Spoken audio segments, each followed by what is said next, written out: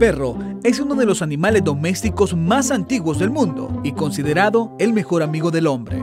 Hoy les contamos cómo Bobby se ha convertido en un miembro más de los policías destacados en la zona rural del occidental departamento de Sonsonate. Según relataron los policías rurales, el canino sale desde muy temprano con los agentes a realizar patrullajes, ya sea en vehículo o a pie, Bobby siempre está presente en los controles vehiculares, a la espera de que los policías continúen con el recorrido, y hasta tiene tiempo a veces para darse un refrescante baño ante el sofocante calor. Esta mascota tiene ya tres años de convivir con los agentes y ya es muy querido por todo el personal, quienes le comparten la comida y hasta un lugar especial para dormir. Sin duda, la mayor recompensa para Bobby es alcanzar la atención y la aprobación de los seres humanos sin importar los sacrificios que cueste. Bobby se ha convertido en un elemento más de la Policía Rural. Este es un informe para la prensa gráfica.com.